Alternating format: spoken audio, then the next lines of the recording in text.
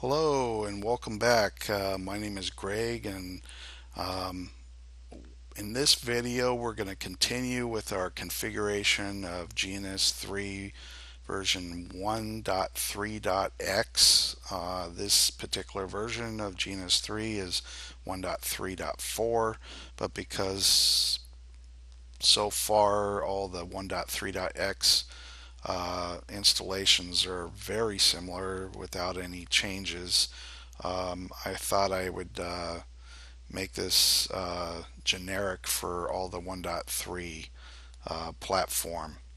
So um, in this video we're going to load up virtual boxes uh, devices uh, such as PCs and and servers and um, I'll basically show you how um, um, to wire it uh, to a switch and a router um, so that you can um, do serving um, of various services uh, from a server uh, to VirtualBox PCs. So uh, we'll go and hit new. Uh, this brings up the VirtualBox uh, machine, virtual machine um, template. And from here, it lets you select the available VirtualBox machines. Um, I'll go ahead and add this uh, PC1 uh, WinXP uh, machine. I have ran Windows 7 on it, but I haven't tried 8, but it seems like the newer the Windows, the uh, the bigger the VM. so well, WinXP works fine for uh, for most purposes and uses the least amount of uh, CPU utilization. So I'll go ahead and load that up, and I, I do have more than one. Uh, uh, PC I, I just cloned them so basically you can just add them um, add them all in.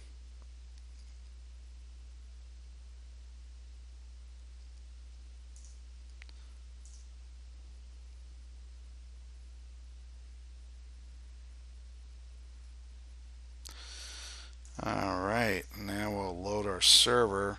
Now I do have a server that's in here. It's uh, Win 2003 uh, server. I also have a uh, Red Hat uh, Enterprise Linux, uh, but um, uh, I also got Win 10. um, but this is the server that I I, I uh, recently created, which is a Win Windows Server 2003 uh, Radius server, um, which uh, is pretty cool because it's a domain controller and has uh, DHCP and uh, other services uh, um, loaded in it. So, and um, I won't show you how basically uh, to. I'll probably do another video later on to show how the radius works. I'm still kind of working through the bugs on that, uh, but but for this purpose, um, I'll just show you how we can create um, a topology with our IOU devices. Um, actually, I'll take that back. Let's go ahead and get rid of this IOU. Let's use our 2600 router uh, just to show that we can connect it. Uh, now that we changed our local server to 192.168.56.1. So uh, basically, this point, um, we can connect. Oops, there we go. Connect into that router. Connect this to this switch. And connect this to this router. And if you didn't, like I said, if you didn't change your, um,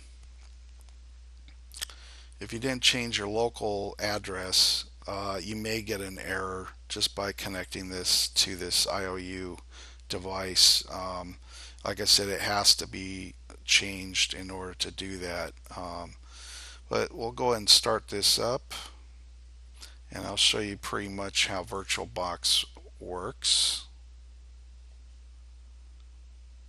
Oh, one thing, and this is a good thing. uh, you have to go into um, VirtualBox and set your NIC. Uh, one other thing I failed to mention, uh, and this is this works the same on all NICs, uh, depending on it doesn't matter which platform you're using. Uh, if you go into settings after you've installed a, a server or PC, uh, for you have to set your network adapter to not attached.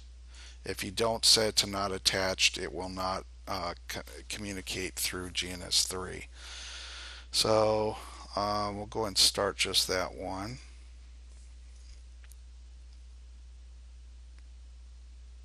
And as you'll see down here, it'll pop up here in a second. There it is. So we got our server coming up.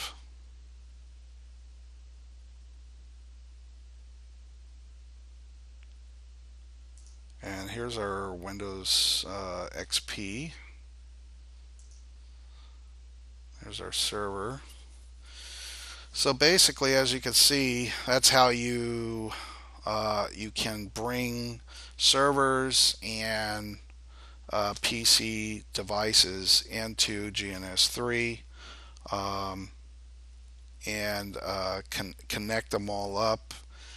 Um, basically, at this point, you would just go into your router, set up your uh, your LAN uh, connections. Um, and uh, so that and set your uh, IPs on your server and your and your uh, PC, and everything should work just like in a real networked environment.